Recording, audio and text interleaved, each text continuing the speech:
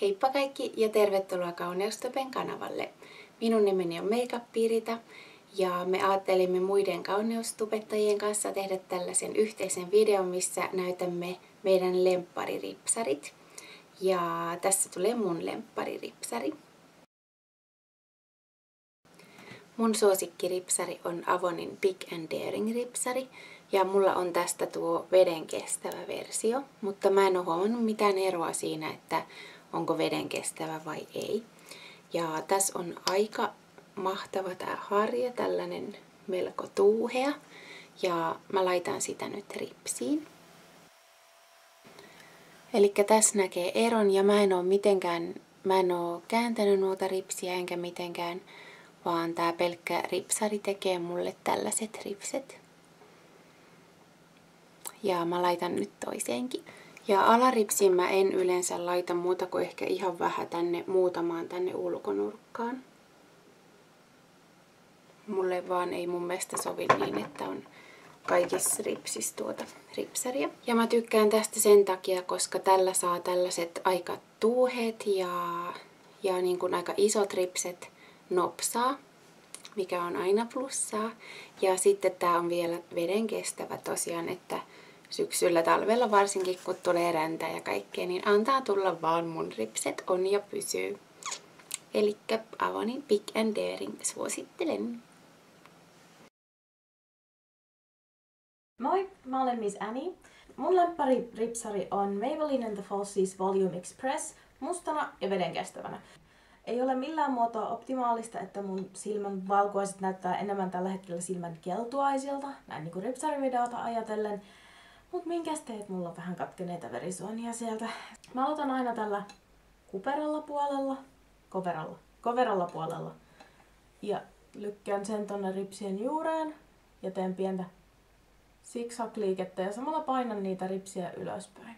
Jos mä haluan niihin lisää tavaraa, niin mä käännän sen ripsiharjan ympäri. Käyn noita kärkiä enempi läpi sit sillä, että saa niihin sitä ekstra pituutta. Tää on ollut mun lemppari ripsiväriä useampia vuosia ja voittajaa tai päihittäjää ei ole toistaiseksi tullut vastaan, vaikka kokeilenkin paljon kaikenlaisia ripsivärejä koko ajan. Mä tykkään tästä vedenkestävästä versiosta nimenomaan sen takia, että se pitää taivutukset ihan erinomaisesti. Ja mä en itse asiassa koskaan edes kokeillut sitä vesiliukosta.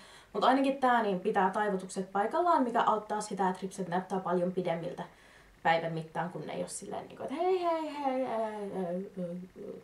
Mun omat ripset on sellaiset aika medium ripset. Ne ei ole, niin kuin, ne ei ole mitenkään superpitkät, ne ei ole mitenkään supertuuheat, mutta ei ne ole niin kuin millään lailla lyhyet tai harvatkaan. Ja tämän ripsivärin avulla ne näyttää. Ei ne tekoripsiltä näytä, mutta on niissä runsaasti kuitenkin sitä volyymiä ja sitten tosiaan sitä pituusefektiä myös. Moikka! Mä olen Helmi ja mun ehdoton suosikkiripsivärini on Max Factorin Falsy Lash Effect. Multa löytyy tää ripsiväri vedenkestävänä versiona, jota mä rakastan ihan yli kaiken, koska tää on oikeasti vedenkestävä. Se ei tahrinnu ollenkaan, ei rapise alaluomille missään kohtaa ja on vaan niin täydellisen näköinen koko päivän ajan. Tää on ihan uskomaton ripsiväri, koska tää tuo tosi paljon tuuheutta sekä pituutta, jota mä mun ripsille kaipaan, mutta se ei kuitenkaan tee yhtään niin klimppejä ja näyttää tosi tosi luonnollisilta. Tämän ripsivärin massa on aika jämäkkää, joten se rakentaa tosi hyvin niitä ripsiä paakkuntamatta niitä. Lisäksi tässä on todella hyvä harja, vaikka se on suhteellisen isokokoinen, se ei yhtään tahraa. Tää on ihan ehdottomasti mun ripsivärisuosikkini. Mä oon Katariina Hanna ja mun lempiripsiväri on The Palmy But Your Type-sarjaan kuuluva The Bodybuilder maskara. Ja tää on mun suosikki, koska tällä saa tosi mustat ja tuuheat sekä pitkät ripset. Ja mä tykkään tosi massiivisesta ripsistä, joten tää on ihan mun lemppareita. Tää maksaa sen parikymppiä, et sillä tää on aika hinnakas. Ja tänne joutuu tilaa netistä, esim. Bangerheadiltä, tai sitten Look Fantasticsilta, tai nordicfeel.fistä. Tää harjastus on tosi jämäkkää, että tää ei niin kuin, tota, jousta yhtään. Ja sitten tää on myös vähän tämmönen ö, epäsymmetrinen, mikä on ihan hyvä, että sitten se menee niin kuin kaikkialle ripsiin. Ja mulla ei ole nyt mitään ripsiväriä ripsissä, joten mä näytän, että minkälaiset ripset täällä tulee. Niin nyt on niinku eka kerros laitettu.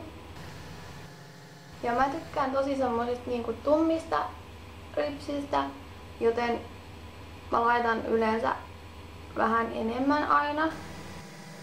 Ja tää ripsiväri on niinku todella kosteeta tai semmoista tosi märkää, eli kannattaa antaa kuivua aina. Mulla on tämmöiset aika puolipitkät ripset ja aika niin kuin semmoset jo tuuheet ja semmoset. Suosittelisin tätä ripsiväriä semmosille, kenellä on ohuet ripset ja lyhyet, että tällä voisi sit saada tosi hyvät. Ja tää oli mun suosikki. Moi! Mä oon Linda. Öö, mun ripsivärissuosikki ehkä noin pari vuoden ajalta, aina kun mulla ei ole ripsienpidennyksiä, on Maybellinein Falsies.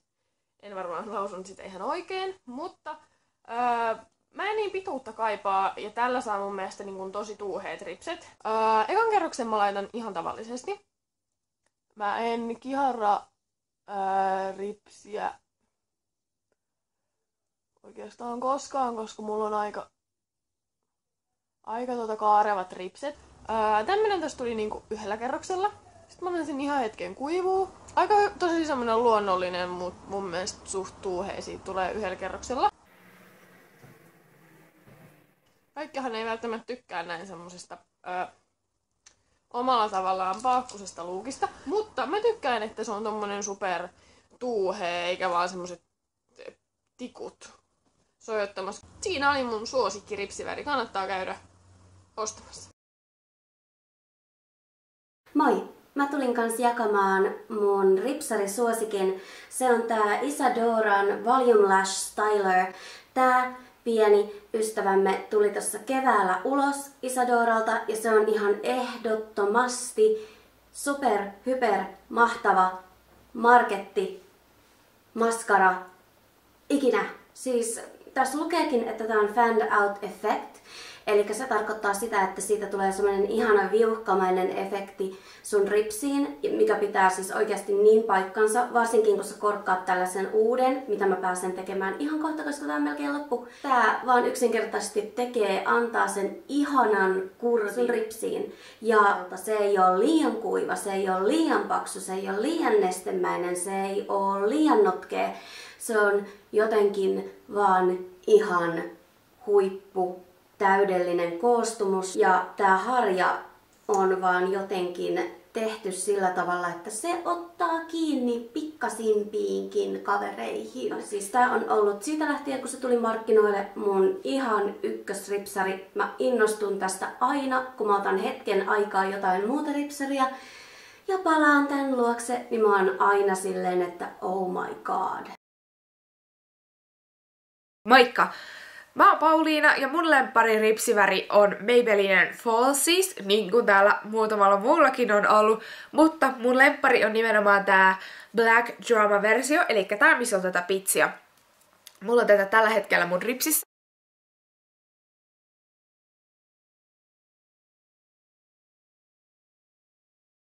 Eli tämä vasemmanpuoleinen silmä, niin tää, nämä ripset on kiharrettu ja tämän oikeanpuoleisen silmäripset, näitä ei ole ollenkaan taivutettu. Ja tota, mä tykkään tästä ripsiväristä sen takia, koska tää antaa mun mielestä tosi paljon volyymiä ja pituutta ripsille.